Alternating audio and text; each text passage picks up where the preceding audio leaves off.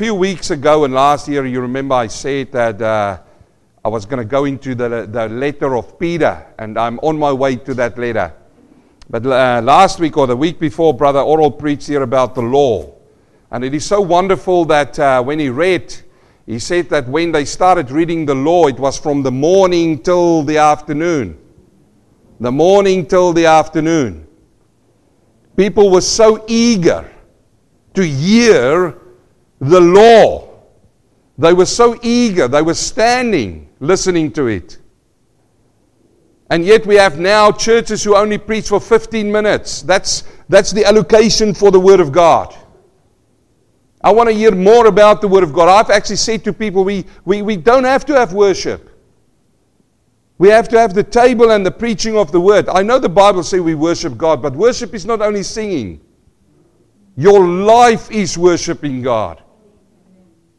And all you do when you come to worship God through singing is you overflow. You overflow. If you overflow from the worship and the love of God during the week, singing in church shouldn't be a problem for you. Doesn't matter whether you're off key, whether you are false according to people, whether what. All you do is you overflow. And you see, the thing here is that that becomes a sweet aroma before God because He sees your heart. That's what He sees. So uh, I was on my way, and I'm still on my way to, to the book of Peter, and I believe the Lord's going to bless this church as we work through that later. But as uh, Brother Oro was talking about the law, I thought, you know what? I think before we go there, I want to talk to you about the law. The law. It's written in your Bible, it is in the Old Testament. When I talk about law here, I talk about the law of God. This law. And I'm just going to open up the passage for you in the next few Sundays, how the Lord leads me to take this. I want us to go into the law. Because I want to tell you something, brothers and sisters. I see this happening in our day and time where you've got people sitting in churches who don't even know the sin that they were saved from. They don't understand it. How can you say that you are saved from something that you didn't see or understand what it is? And this is the purpose of the law. The law of God brings you to a point where you can see yourself through His eyes. So I want to talk to you starting today about the law, and in specific today, the key of knowledge. The key of knowledge. And I want you to open up in your Bibles in Luke chapter 11.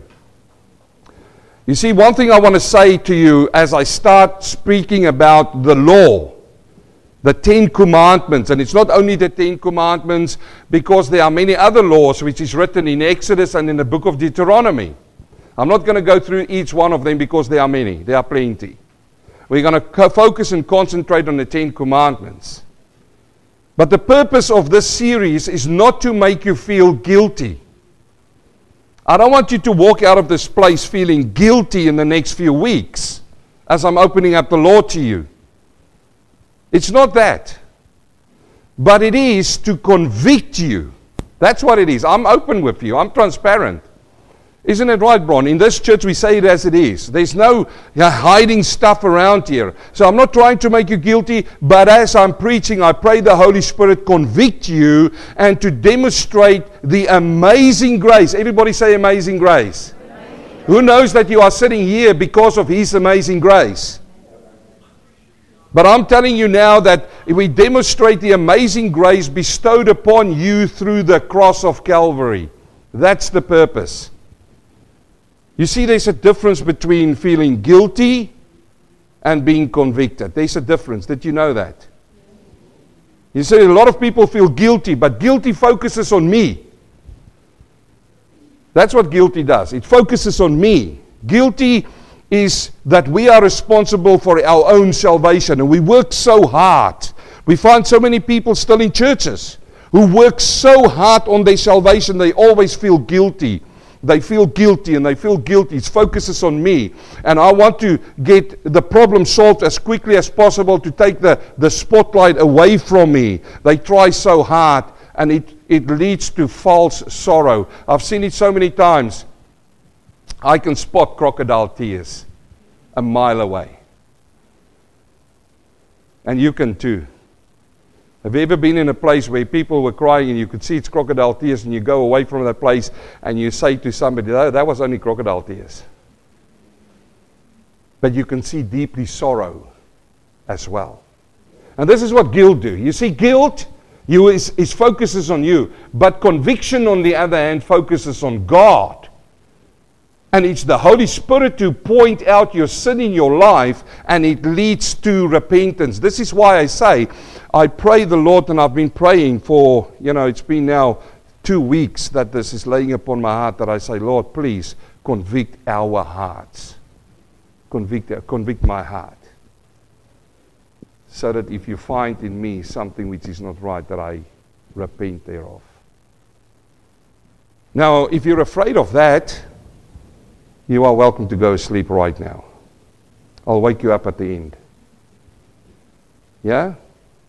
So, the definition for law is a system of rules which a particular country or community recognizes and it regulating the actions of that community and of its members, and in which it may enforce by the imposition or the or the impartation of penalties. What this definition is saying to you me is it says where there is a law, there is judgment. And this is why the people want to walk away from the law. Because if they see the law, there is judgment. I mean, there's a law on this road down here, on this, if you go down here. Now, I see a young brother in the church came this morning on his motorbike for the first time. He's got L plates on it. I won't highlight the brother out. But but he would have learned in his L plates that there's laws in these roads. And that road down there says 80 kilometers an hour, young people. That's what the law says. Now, if you go over 80 kilometers an hour, what happens? There is judgment. It is just how it works. If you go 100 on it and they, oh, if you go 90 over it, you're going to get a fat fine and you've got to pay that fine. If you go 100 over it, you're going to lose your motorbike uh, car. So this is it. You know, there's laws and there's judgment. But the same principle then applies to the Word of God. We are sitting here under the Australian law and we need to abide by the Australian law. There is certain things that we cannot do. If we do them, they will give a judgment on us and either give us a fine or you will go to jail. You will, you will pay a penalty for that. Now, the purpose for laws is to keep the society safe and orderly. Isn't that right? There's traffic lights at the end of this, isn't that right? So you go 80 miles an hour, kilometers an hour, and you get to the traffic lights and you see the red light. Now, red doesn't say go. What does that red say? It says stop. If everybody don't want to abide by that, we're going to have an accident right there. This is why it keeps things orderly and it keeps things safe. And this is so true to the Word of God, the law of God. Because the law, and, and by the way, let me just say, all the law, all the law, Australian law, which is actually under the England law originally when it was came down here, all of that law is based on the Word of God. Even the atheist who says to you, I don't believe in God, abide by God's laws. Because even everything around us is tied to the Word of God. But then there is spiritual laws as well. That if you break the spiritual law, there is judgment upon you. You see, young people and people my age and older, which means everybody in this church, if you're going to break the laws, uh, the moral laws of the Bible, you're going to find you in a place that you don't like where you are. And you can be locked in for life. This is why I say to young people think before you do. Don't make decisions when you're emotional. Don't break certain things because you're going to find you in a place where you're not happy and you're going to come to the pastor and say, Oh, I don't like it. Pray that God takes it away from me. And I'm going to say, No, Lord, take them through it. So this is true. If you abolish the law, you have lawlessness you have lawlessness. And we saw this in America a few years ago when they abolished the law and you saw buildings burn and cars burn and all of these things. And let me just say right now the only thing that keeps lawlessness away from the world right now is one word only, or two words Holy Spirit of God. He's the restrainer. Once the restrainer is removed from this earth, you don't want to be on this earth because every man will do what is right in his own eyes. It has been there before. It's nothing new. It's in the Bible, it's all over. So now, with that in mind, let's go to Luke chapter 11. Now, what I'm going to do is I'm going to read it in context, and then we're going to come to our verse that I want to use as a foundation for the next few weeks. So,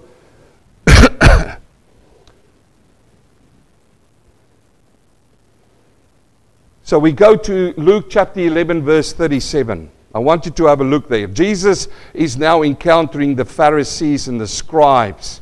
And I'm going to read through this and I'm going to do expository teaching as I go through this. And I'm going to stop in certain places because I believe the Holy Spirit can still speak to everyone uh, as we go through this. He says, And as he spoke, this is Jesus, a certain Pharisee asked him to dine with him. So he went in and he sat down to eat. And when the Pharisee saw it, he marveled that he had not first washed his hands before dinner. You see, washing of the hands before the dinner was something which they do as a ritual, and there was a specific way of doing it. It's not just walking up to the basin. It doesn't say that Jesus was dirty. No, no, he knew hygiene. But what it was here was an ordinance. It was a specific way. They had to hold their hands up like this, and water was dripped onto their hands. And then they had to take their fist and rub it into the one side, and then water dripped and rub it into the other side. And then finally, they hold their hands, and the water was poured on the top and runs down their arms, and then it drops down from their elbows into the ground. That is every single time when a Pharisee wants to eat, they had to wash their hands. Now, Jesus didn't do that. And these people then looked at him, shocked, amazed. He says, and they marveled. They, you know, it's, it's a big thing for them. It's the ordinances of their forefathers which they've put into place. Now let's see what happens. Then the Lord said to them, to him, Now you Pharisees make the outside of the cup and the dish clean, but your inward part is full of greed and wickedness foolish ones. Did not he who made the outside make the inside also? But rather he gave alms and such of the things have, then indeed all things are clean to you. And we can learn a lesson from this, you and I sitting in this place. You see, when you come into this church, people see the outside and they see your smile and they see your friendliness. And, but what they don't see is what is on the inside. I always say is what's happening when you close your doors.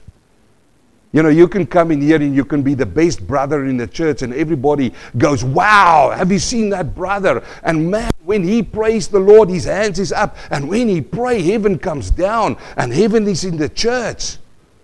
And when he sings hallelujah, praise the Lord. Man, I get such a holy feeling when he sings hallelujah. Get him to sing hallelujah. But, brothers and sisters, let me ask your wife, your, your, your husband, let me ask your children, how is mom? How is dad? How is uh, Johnny? How is Sarah at home? When the church don't see them. That's the testimony that counts. Jesus touches on this. He touches on this here when he, when he talks about it. He says there that, you know, these people, they are on the outside so clean, they are so beautiful, but inside there's greed and wickedness. And he takes us back to Genesis chapter 6 when Noah was around. You know that time when Noah was around? And it said that the people of that age were full of greed and wickedness, and violence filled the earth. How is the violence in your family?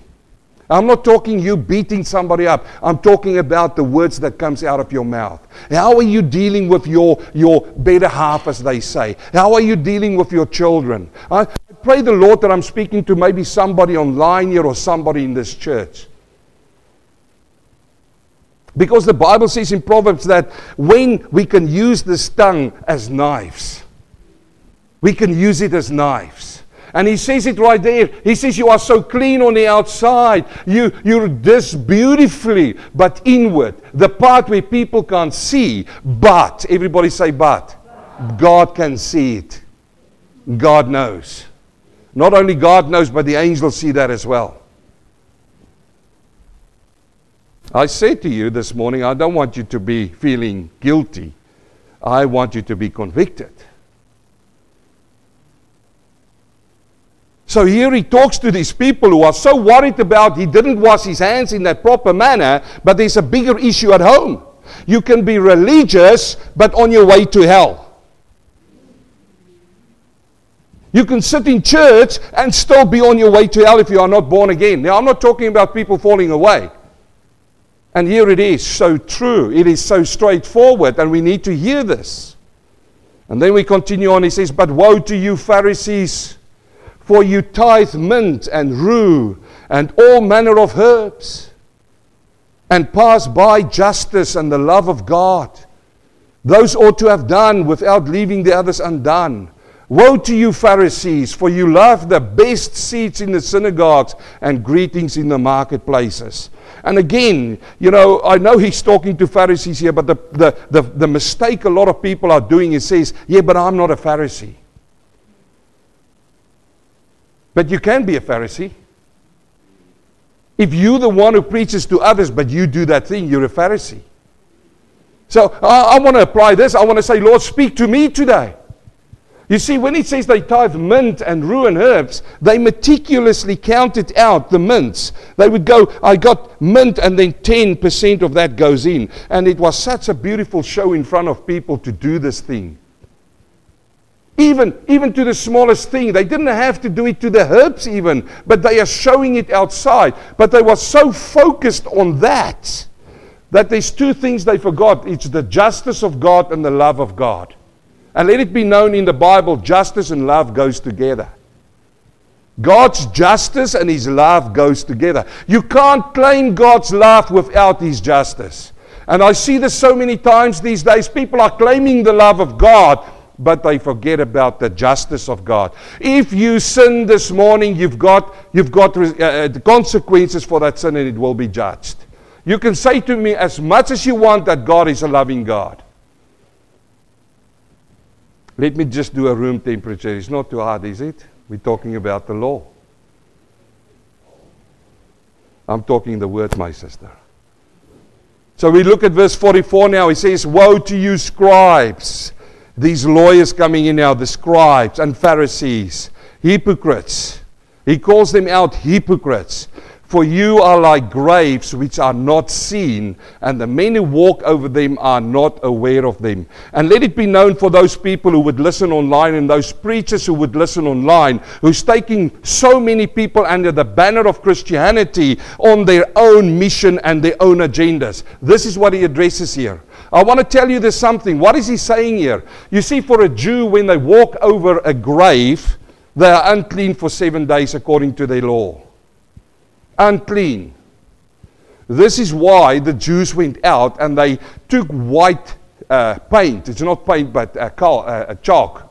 And they would, they would paint the graves white so that the Jews could walk and see there is a grave, there is a grave, and they not walk over them. So, what is the point Jesus wants to make here? He says to them, You, scribes and Pharisees, for you are like graves which are not seen. In other words, there's a grave which is not seen. The Jew walks over it, he didn't even see it, and now he's unclean. There are people are operating in churches like that. They are taking people in an unholy direction under the banner of Christianity. I'm just going to say it as it is. If you are by now upset with me, God bless your heart. I told you we're getting to our verse. But it's the law. Yes. Now, the, the thing is, you say, oh, yeah, all those preachers on TV, I can name them one by one. But I want to ask you, what are you doing? Are you doing that? Are you setting up graves which are not seen? Are you putting things in place for other people? Are you digging pits for other people to fall in? Are you backbiting and backstabbing other people? That's the same thing. It's just different words. I love the word of God. It cuts like a knife. In verse 45, he says, Then one of the lawyers answered and said to me, See, here comes these very clever lawyers. The lawyers. The lawyers stand up and say, Whoa, whoa, wait a minute here, Jesus. Teacher, by saying these things, you reproach us also. And he said, Now I love it when Jesus, he's not even answering. He's not even coming over and says, No, no, I love you, lawyers, man. I'm going to need a lawyer one day.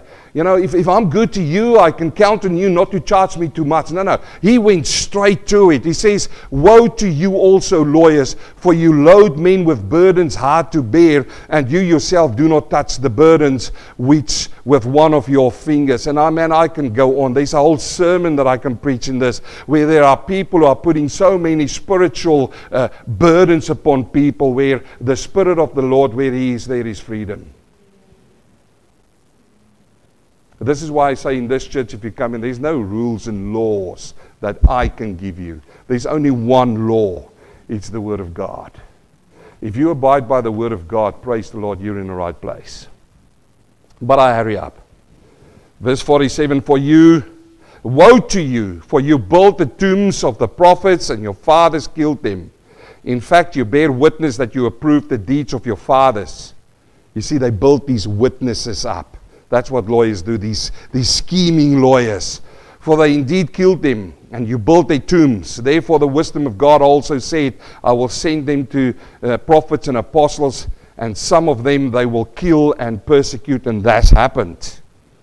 That the blood of all of the prophets which uh, was shed from the foundation of the world may be required of this generation from the blood of Abel to the blood of Zechariah, who perished between the altar and the temple. Yes, I say to you, it shall be required of this generation. I'm reading this to you to put it into context where I'm going. Look at verse 52 now. This is where we're going to find our word. Jesus then stands there and he talks to these lawyers. They say, Oh, but you are saying it to us now as well, Jesus. We are not like those Pharisees, but they are lawyers. And now he says to them, Woe to you, lawyers, for you have taken away the key of knowledge. Everybody say, key of knowledge. He says to these lawyers, There is a woe upon you, for you've taken away the key of knowledge. You did not enter in yourselves and those who were entering in, you hindered. You stopped people to enter in. Why? Because they've taken away what? A key. What does a key do? It opens a door. There's a key that opens a door. And if you've got the key, you've got the authority to open the door. If you go to my house now, the door is locked.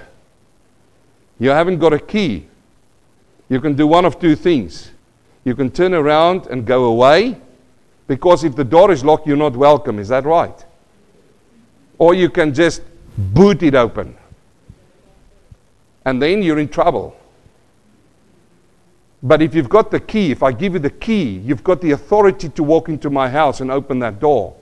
And here it is important. He says to them, There is a key which was given to you, the lawyers, of knowledge and you have taken it away. He has given this key to us. He's given it to that nation. I will come to that. I'll give you the distinction there. But he talks about this key of knowledge. Let me finish and I'll come back and explain. Because I'm talking about this key. In verse 53, he says, And he said these things to them. The scribes and the Pharisees began to assail him vehemently and to cross examine him about many things, lying and wait for him and seeking to catch him in something he might say that they may accuse him. You see, they didn't like what he said. And so a lot of people won't like it when you preach the truth from the pulpit. They will run from the, for the doors, and I say, You are welcome. But what is this key of knowledge? What is he talking about? Why is it a woe to these lawyers? You see, a lawyer is somebody, there's two things they had to do. First of all, they had to uphold the law. What do I mean by that? They're not police officers, but they are the ones who form the laws. They are the ones who, when they receive the law, explain the law to the people. That's what the lawyers do, that's their purpose. And they had to do these things. But then, so, so first of all, they had to teach these laws to them. And by upholding them. So the question is then, what is the key of knowledge Jesus was talking here to the lawyers about? Well, brothers and sisters, the law of God is the key of the knowledge that he was pointing towards here. He was pointing towards the law, the Ten Commandments, if you want to have it like that. He said to these lawyers, You have taken away the key of knowledge. You have taken away the law. Instead of teaching the law to the people, which was given to Moses on Mount Sinai, these lawyers, what did they do? They started teaching the origins of man. They started teaching people how to wash your hands. They started saying, oh, that's not lawful what you do there. So they moved away from God's law, set up their own law, and now they're starting to trap people by that law. Watch out for people who's trying to do it today. Where the Spirit of the Lord is, there is freedom in Christ. But these men, they had to do this. They had to teach the law to the nations. They had to uphold the rule of law to the nation. And this was given to the Jewish people for a purpose. But they got themselves involved into these rituals and they got themselves involved into these ornaments and to these traditions. And they started teaching traditions instead of the law of God. Say they should have taught the law. Why? Why is the law so important? Why did God give the law? So that man could realize that he is a sinner. That is the purpose of the law. They should have taught the law so that the sinners would get the knowledge of their sin and to realize that they need a Savior. Is that how you came to the Lord? You are sitting here this morning and you say you are born again, you are washed by the blood of the Lamb. How did you come to that? How did you come to that? Were you sitting in a church and they made an altar call and somebody tapped you on the shoulder and said, Do you also want to go? And you started feeling guilty, you see? You see, that's the word guilty. And then you, I'm not, I'm, look, listen to me, brothers and sisters. I'm not testing your salvation here this morning. That's over to you and the Holy Spirit. But what I'm saying is, when you came to Him, when you stood in front of that cross, did you see the sin that you committed against the Holy God? This is what I'm saying. Let's be serious about this. This is why the law came in. Remember before the law. What was before the law? We go back to Noah's days. There were violence, there were greed, there were wickedness on the earth. And, and let me say, the Bible says, Jesus says, it will be in our days now like as in the days of Noah. You see the same things happening in our world today, and it's going to get worse. How are you fitting into that?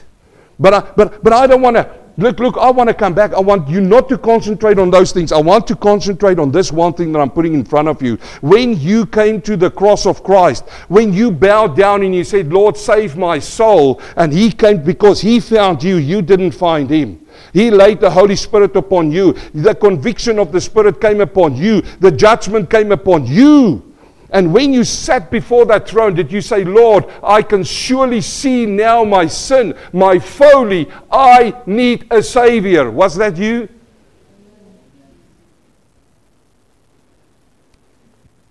You see, uh, gone with all of this fluff that people trying to put under the gospel these days. You find these, these days people come and they say they are born again without ever confessing their sins before a holy God. And this is what it comes down to. He, he talks to these lawyers. He says, Woe to you. There's a penalty waiting for these people who's taken, who's taken the key of knowledge away. And when I read this verse and the Holy Spirit came upon my heart and convicted myself, I said, Lord, shall it not be upon this man not to preach this message in church? Because I don't want to be one of those lawyers. I want to preach it as it is, brothers and sisters. You need to be convicted of your sin. You see, the thing is, these days, you get people who come and they quickly, they quickly say, Lord, save my soul, and they pray the prayer and they go on with their old life. No conviction. No conviction. But let it be known today that if he, he will stand, you will stand before him to one day, and the law which you neglect will convict you. Yeah, I know it's a hard message, but it's a true message. Now let's follow this key because you say, explain to me, wow, the key of knowledge. Where did you get that this is the law of God? Well, we'll have to go back to Genesis. And we see in Genesis chapter 2, verse 16, the very first law that came in, the very first law. Uh, we know that God created the universe and God created everything. He created Adam. And then he comes in chapter 2, verse 16, where it says in the Bible, And the Lord God commanded the man. You see the word commanded there? That's a law. He laid down a law to him. He said to him, This is my commandment to you, and you shall not break that commandment. Because if you break that commandment, there is a judgment. This is it, the very first one. And he came to me and he said, Of every tree of the garden you may freely eat. But of the tree of what? But of the tree of what, church? Of what, church? But of the tree of knowledge of good and evil you shall not eat, for in the day that you eat of it, you shall surely die. You see, God set a key down there. He says to him here, he says, You can eat all of the trees, but this tree, this tree of knowledge of good and evil. At this point in time, Adam was in a dispensation of innocence. Innocence. He was innocent. He was at that point in time perfect. He was the only one who wasn't born perfect, he was created perfect. And here walks this perfect man in unity with God in spirit with God. God spoke to him like I'm speaking to you. And God comes to him and he says to him, There is some knowledge which I don't want you to have, and I'm going to put a commandment on that. What is that commandment? The knowledge of the tree of good and evil. If you're going to eat of that tree, what's going to happen? You're going to understand good and evil, and that dispensation of innocence is gone. It's gone. So here we find that. The key of knowledge, what knowledge is it? It's the key of good and evil and the end of a dispensation of innocence. So in chapter 3, really interesting, it is so interesting that God spoke to Adam here. He spoke to the man, he didn't speak to the woman, he didn't speak to Eve. I don't believe Eve was even created at this point in time when he spoke to Adam. And that's why I believe there is a certain order for God. Not because we chose it, it's because God put it in place. He spoke to him, and then Adam then told Eve. So Eve didn't get it directly from God, but she got it from Adam. And what happened? We see this whole account happening here in chapter, chapter 3, verse 6. So when the woman saw that the tree was good for food, that it was pleasing to the eyes, and desirable to make one wise, she took of its fruit and she ate. She also gave to her husband with her, and they ate. What did they do? They ate from the tree of knowledge of good and evil. Then, everybody say then. then. There's a knowledge here. Then, the eyes of both of them were opened. Why? They saw for the first time this knowledge. They realized something happened. They were opened and they knew that they were naked. Before this, they didn't know this. They sewed fig leaves together and made themselves coverings because they want to cover. Why did they have to cover something now? Because all of a sudden they realize the difference between good and evil. And now they try to cover. And they heard the sound of Lord God walking in the garden in the cool of the day. And Adam and his wife hid themselves from the presence of God amongst the trees of the garden. Why? Because they broke the law. There was only one law. There was only one. Don't eat. Here is the Israelites. Here is them. They've got so many. They've got 10 for a starter, but then go and read the whole book of Deuteronomy. There's plenty. And there's even more in the New Testament of things to do and not to do. And they had one. And they couldn't even hold the one. Where is the person who comes to me and say, I'm going to uphold the law of God, man. I reject Jesus Christ. I'm going to hold the law of God. You can't do it. Even Adam couldn't hold one. Who are you to hold 10 plus? So it's not the answer. You see, guilt came quickly to them. They focused on themselves. They had these fig leaves because they want to cover themselves. They feel the shame now. This is what sin do in people's life. The moment you see you want to do it, it looks so pleasurable. The, the moment you go into trying to do things which you know it shouldn't do, and there's this voice crying out in your conscience, don't, don't, don't, don't. But it looks so pleasurable. It looks so fun to do it. But the moment you do it afterwards, there is the guilt that comes and you try to cover it up. You tell lies. You do these fig leaves. Fig leaves, I don't know about you, but they are prickly. It's not a good covering. And it's not permanent. And here it comes now that God had to kill an animal and give them skins to do that, but that's a different message. Let me finish up this morning. You see, the law of God became the standard, and it's God's standard. And they broke that standard, and there's consequences for that. There's consequences. In Isaiah chapter 42, verse 21, it says, The Lord is well pleased with his righteousness' sake. He will exalt the law and make it honorable. He will make it honorable. Uh, God's law reveals God's standard for his people living in a fallen world, even to this day. Even to this day, there's a standard. Why do you think people uh, uh, take the Bible out of schools, out of government? That's God's standard. But we are living in a fallen world, and a fallen world don't want these standards. They want to change it. They want to make it woke, the woke brigade. And let me say that that woke brigade spirit has moved into a lot of churches as well. I'll refrain from going on about that. But Paul loved the law of God. Did you know that? He loved the law of God. And he used it a lot in sharing the gospel. Let me show you. In Romans chapter 7, verse 12, the same Paul, he says, Therefore the law is holy, and the commandment holy and just and good. He used this law. He says it's a holy law. He, he didn't say we're going to cut it out. You know, there are some people who says, no, no, we're not under the law anymore. We don't have to read it. We don't have to learn from it anymore. Well, I want to give it to you. I want to go and get some scissors and I say, be my guest, cut it out of your Bible. But if you do so, be careful because it's in Revelation. If you take any words out of this Bible, you're in trouble. So as far as I've seen, it's still in my Bible. So the law is still important. Look, look what Paul did there in Acts.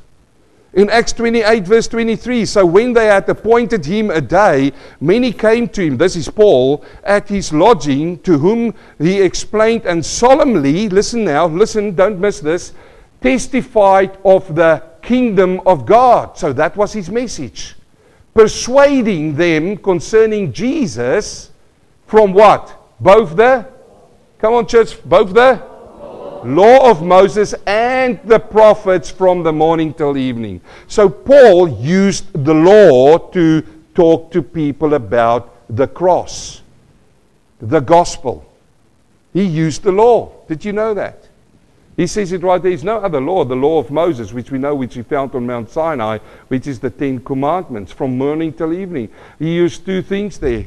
He used the law and he used the prophets. These days, people just want to hear prophecies. But you see, prophets or prophecy speak to the intellect of a sinner, and it addresses his faith.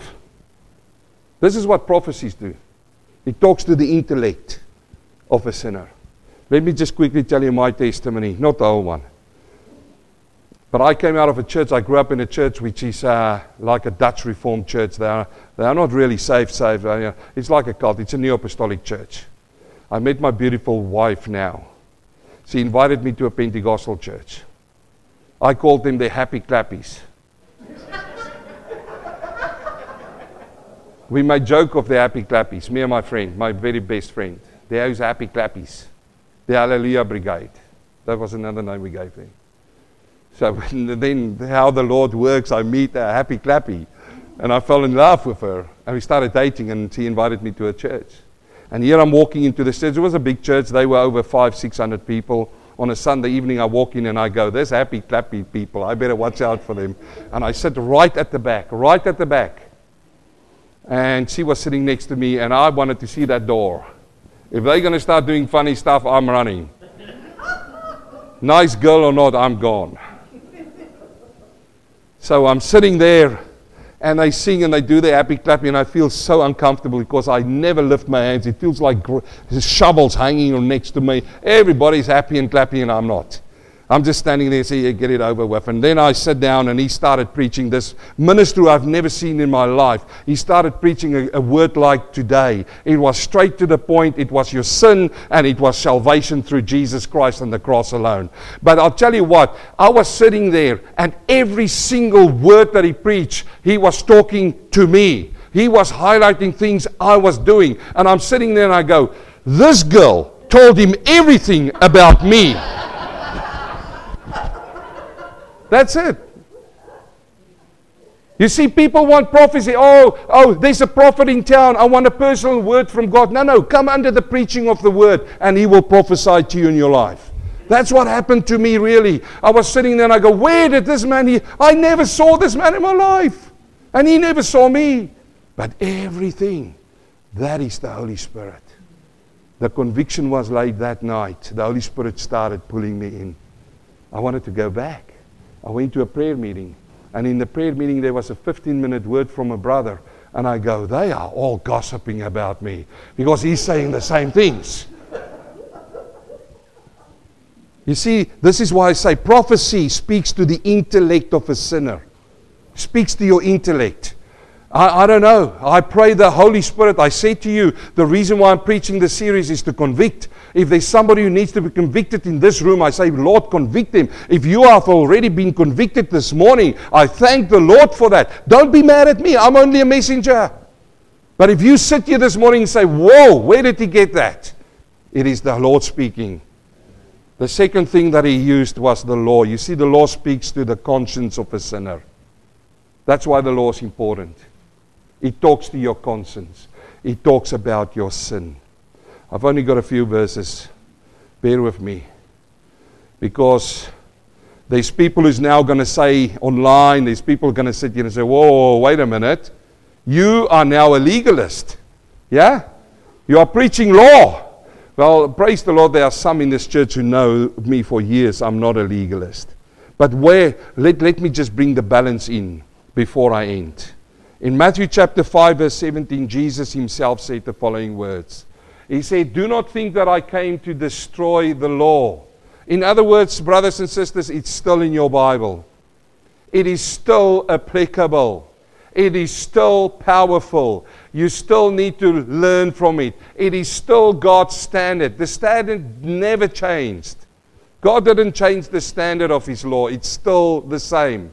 He says it right there destroy the law or the prophets.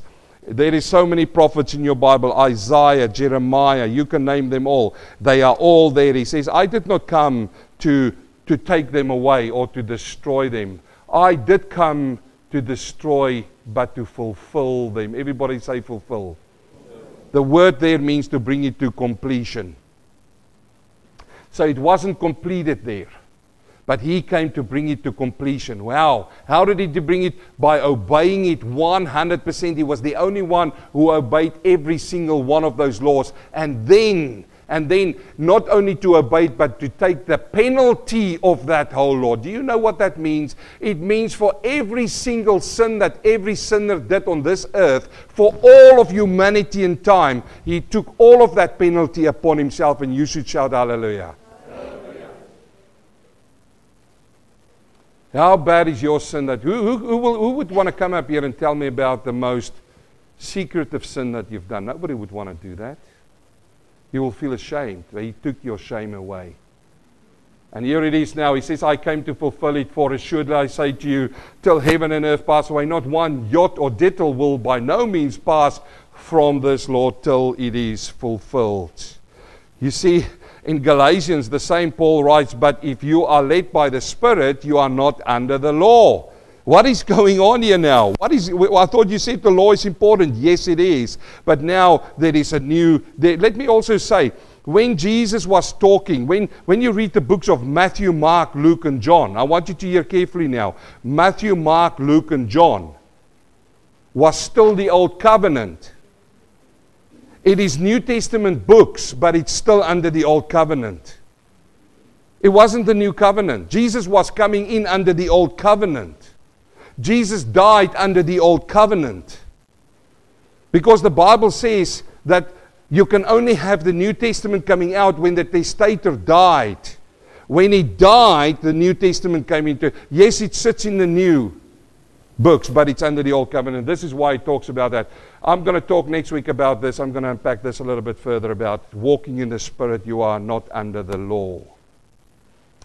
The final scripture for today, and I promise it is. I open up in 1 Timothy chapter 1 verse 8. And this is so telling and important for us because this is where we're going to go next week. I've told you how hard the law is. And look, I'm telling you, it is a serious message this morning. I felt times when I preached through those passages, the Holy Spirit's heaviness upon this place. And, brothers and sisters, I want to say to you right now if you sat here this morning and were convicted by anything I said, I ask you to go on your knees before the Lord and start talking to Him. Don't be mad at me. Don't be mad at this church. It's not, got nothing to do with Maranatha. I'm preaching what the Lord lays upon my heart. But I want to bring it into perspective into the New Testament. How is it fulfilled and is it still applicable to us? Yes. Paul writes here to Timothy. He says, But we know, Timothy, we know this. What do we know, Paul? We know that the law is good. Can everybody say amen to that in this church? The law is good. If one uses it lawfully. What is he saying, Paul? We will unpack it next week a little bit further. The law is good if he uses it lawfully. He used it lawfully in, in Acts. I showed you. He persuaded the people, starting with what? The law of Moses and with the prophets. And then he goes on to say, knowing this. Okay, what do we know now, Paul? That the law is not made. Everybody say, not made. not made. That's a negative, isn't it? The law is not made for who? For the righteous person. Everybody say, righteous person. Righteous person. What does it mean? Who's the righteous people? Can the righteous people put up their hands? Yes, you are righteous if you are born again. Because he's clothed you with a cloak of righteousness. So if you are born again, he says that this law is not made for you. What does he mean? We'll unpack it next week. We'll go deeper. I'm advertising for next week, Brother Mark. He says this is not for the righteous person. And now, now that I didn't see a lot of hands on, I'll have to spend some time next week to talk about how you get your righteousness, okay? I just tested it. I see, yep, there's good teaching material there. But it's not for the righteous person. So, so Paul, if it's not for the righteous, in other words, it's not for Paul, it's not for Timothy, it's not for Peter, it's not for John. The law, although they came out of the old covenant, once you get born again, you are cloaked with the cloak of righteousness, his righteousness, as now, this is where you're sitting. Then the law is, you're not under the law anymore. You are working with the law, and I'm going to show you next week how you do that. So if it's not for them, Paul, for who are they then? He says, but. Everybody say, but. My brother, what does it mean? Sharp contrast. But it is for the lawless, it is for the disobedient, it is for the ungodly, and for the sinner and for the unholy and the profane. It's for the murderer. It's for the ma- uh, fa- uh, uh, uh fathers and uh, the murder of fathers and mothers for the manslayers, for the fornicators. You see, even fornicators. Let it be known that if you're a fornicator, if you can hear my voice, you know, maybe two months from now, if you are fornicating, the law will judge you. There's a law that you are breaking. It is for the sodomites. Man, I can unpack that for you. This world is going down the drain, the pit. Let me withhold that. It's going, it's for the sodomites, it's for kidnappers. What does it mean by kidnappers? It's for people controllers, it's for liars. You're telling a white lie, the law is going to judge you for that. Perjurers, it's anything or anything that's contrary to sound doctrine according to the glorious gospel of the blessed God, which is committed to our trust. I know it's hard word today, but praise the Lord.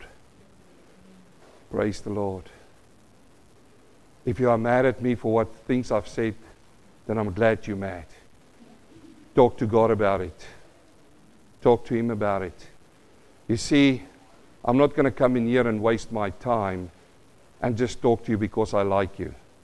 I want to come in here and warn you. Now, you say, I'm born again, I'm washed by the blood of the Lamb. God bless your heart. But you can always take this on board because Paul says, O wretched man that I am. What tense is that? Present tense. Present tense. He says, O wretched man that I am. Now, am I saying that he was a sinner, a filthy? No, no. No, no, because he qualifies as he says, The things I want to do, I don't do. Is that you? It certainly is me.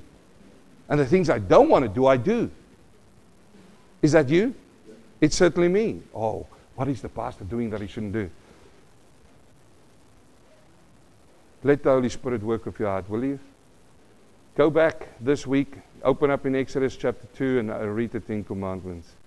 Lord willing, I'm going to go through them one by one. Because I want to show you that He's fulfilled every single one of the ten. Every single one of them He fulfilled, and I want to show you how. So that if you don't come to the cross, every single one of those ten is going to judge you. Heavenly Father, I just come to you in the name of Jesus, and I thank you, Lord, for your word, which is powerful, Lord. It is sharper, it's living and it's powerful. It's sharper than a two edged sword. It cuts between bone and marrow, spirit and soul. And Father, it is the discerner of the hearts and the minds of everybody. Father, I also know that your word will also not go out and return back void, but it will accomplish everything that it's purposed for. If there are people, Lord, who's been convicted by this word, Lord, I pray that your Holy Spirit will not leave them Father, if it makes them uneasy or restless, Father, let your Holy Spirit be with every person until, Father, the, the, the, the price is settled through the cross of Christ. I thank you, Lord, for your word. If it wasn't for your word, Father, this would only be a social club, and I'm not interested in that, Lord. I'm interested coming here to worship you and to be corrected and to grow in faith and knowledge and in mercy, Father. We pray this in the wonderful name of Jesus, and everybody say amen.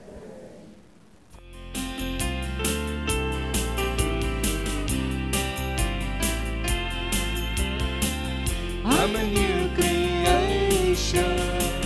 I'm a brand new man. All things have passed